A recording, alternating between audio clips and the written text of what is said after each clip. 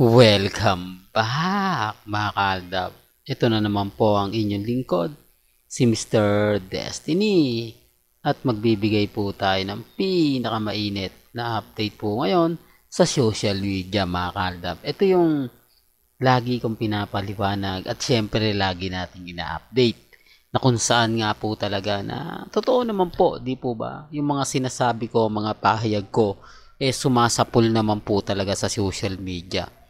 Yung mga ina-update natin, yung mga post ni Daddy Bay, mga post, post ni Liza, di po ba? Samantalang ang tahimik po nila Mama Ten, Risa, Alden Richards, di po ba? Paano nyo masasabi na kumbaga naandito pa rin po sila sa Pilipinas, di po ba? Ito yung photos mga kaaldab na totoong main Polkerson.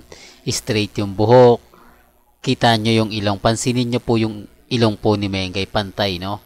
Pero kung ikukumpara nyo po rito, di po ba, may konting lawit, di po ba, yung nakasima siya. Tapos eto, para lang klaro, kasi kailangan ko po itong ipakita, kailangan ko itong ebidensya at resibo.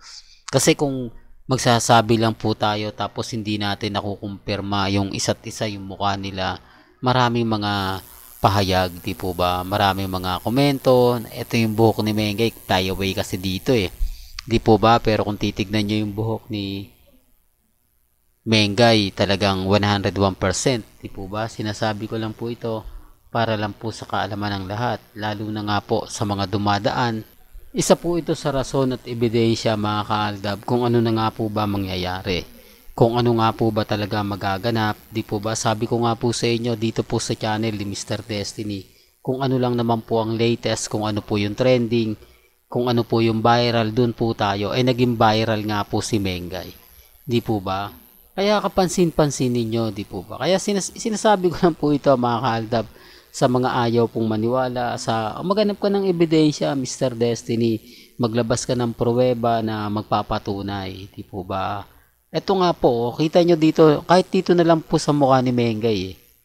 sa apat na yan eh kung ikukumpara nyo hindi po ba ang layo? Real talk mga kaaldab.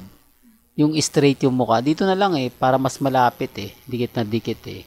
Sinasabi ko lang po ito para lang po klaro. Sinasabi ko lang po ito para lang po sa mga taong gigil na gigil sa channel ko, naghahanap ng ebidensya at resibo, tapos nagsasabi pa na hindi, fake news ka, Mr. Destiny. Ewan ko ano naman po kaya ang reaksyon nila.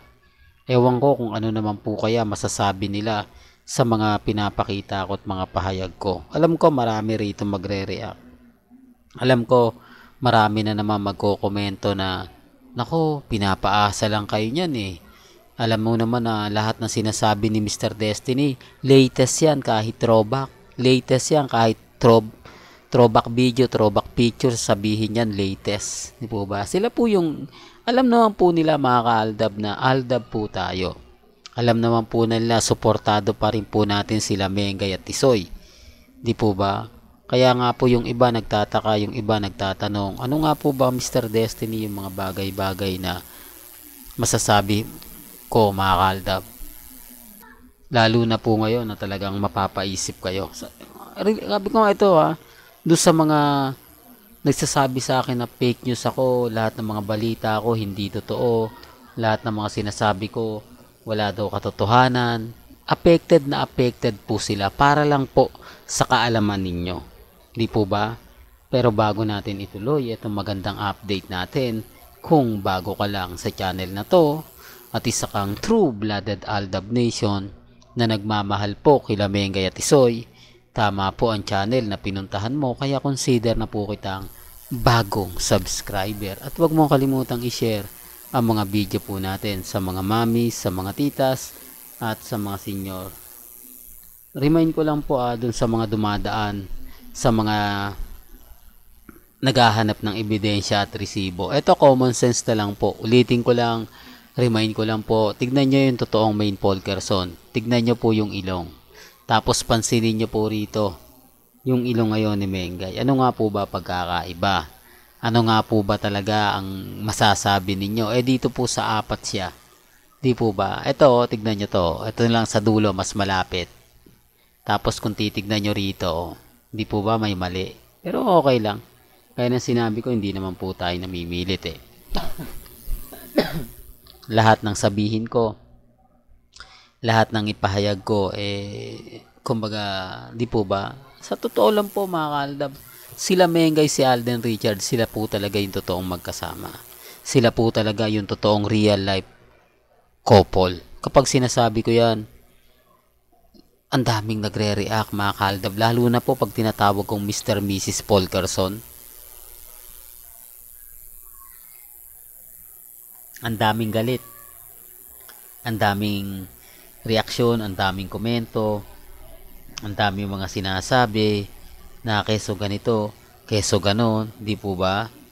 Sabi ko nga po sa inyo mga kaldab, kampante lang, di po ba? Lahat ng mga gusto nyo pong mapanood, mapakinggan, kapag ka nandito po kayo sa channel ni Mr. Destiny, sa pool po natin yan. Di tayo basta-basta gagawa lang ng mga issue, di po ba? Kaya nga sabi ko sa inyo, maglabas sila ng ebidensya at resibo na si Menga yung umuwi ng Quezon City. Kasi binabas nila tayo eh. Hindi naman umuwi Santa Maria Bulacan si Menga eh. Nasabi niya lang dahil dun siya talaga lumaki kaya sinabi niya citizen o citizen siya ng Santa Maria Bulacan. Hindi po ba? Ano nga po ba ang pagkakaiba? Kasi may, may taga Quezon City nga po na clone Baka yun po yung pinupunto ni Mengay. Baka yun ang sinasabi ni Main Paul Kerson. Oops, issue na naman yan. Mr. Destiny, alam mo kaya ka nababash eh. Kaya ka lagi na pag-iinitan sa mga sinasabi mong walang katotohanan. Kaya ka lagi na pag-iinitan dahil sa mga binabalita mo na hindi maganda at hindi ka aya-aya. Po ba? Pero okay lang. Andun pa rin po yung point mga kaldab na atin pa rin po ang bide. Atin pa rin po ang kaganapan. Sa ngayon, sasabihin ko na lang po lagi at lagi kong ipapaliwanag na may mga point mga kaaldab na relax lang po kayo. May mga point na kumbaga kalmado lang, di po ba? Medyo masasakit nga po yung iba magsalita. Aminado naman po ako yon dahil sa akin ginagawa po nila yun eh. Di po ba? Kaya nga po kapag ka sinasabi natin na nako si Mr. Destiny eh talagang tumututok ako. Sinasabi nila nako bitter naman yan eh. Dapat yan hindi nanonood ang daming nalalaman. Ganun din po kasi yung mga komento po ng live eh kung mapapansin nyo. Kaya nga po binibigyan ko yun ng idea. Manood kayo ng live sa YouTube uh, sa Facebook ng Eat Bulaga. Doon mapapansin nyo yung mga nagiging komento. Doon mapapansin nyo yung kakaiba tapos sa kanya sabihin sa akin na hindi totoo yung sinasabi ko, hindi totoo yung mga pinapaliwanag ko. Doon pa lang may mali na eh. Doon pa lang sinasabi ng iba, ba't laki ng boses ni Mengay? Bakit parang pumangit si Mengay? Hindi po ba? Although sinasabi ng iba yan. Kaya nga sabi ko sa inyo mga kaaldab, kung talagang main Paul Kerson ang nakikita nyo, hindi nyo sasabihin yan. Di po ba? Kaya nga po maraming kumakampi sa atin eh. Yun nga po yung kanina, sabi nga po nila, malakas, kumbaga hindi daw maganda si Maine. Sabi ng reporter, pero malakas daw yung sex appeal. Wala naman tayo nakita ng sex appeal kay Mengay, di po ba? Cute talaga si Mengay, maganda talaga yung aura ni Mengay. Yung sinasabi nila, baka yung clone, di po ba? Eh, lalaki yun eh. Di po Kaya malakas talaga yung sex appeal ng lalaki. Di po ba? Sa babae, malakas yung pagkaka ano ng muka, di po ba? Lalo na po pag cute. Kaya nga main cute eh. Di po ba? Kaya nga, ayaw ko mama. Sa bagay mga kaldab, mahirap talagang iba to. Mahirap mag-react. Lalo na nga po kapag uh, ako ang nagbibigay ng balita. Ako ang nagbibigay ng mga kaganapan dahil galit na galit na naman sila. Sinasabi ko lang po ito para lang po sa kaalaman ng lahat ha, lalo na nga po sa mga taong dumadaan at bumibisita po sa channel ni Mr. Destiny. Well, hanggang dito na lang po ang ating latest updates. Kaya kung gusto nyo pa po ng pinaka-latest at sariwang update, abay tumutok lang po kayo dito po sa channel ni Mr. Destiny para updated po kayo sa mga latest at sa mga bagong video po na ilalabas po natin. maya-maya lang. Hanggang sa muli, salamat po sa panonood at pakikinig.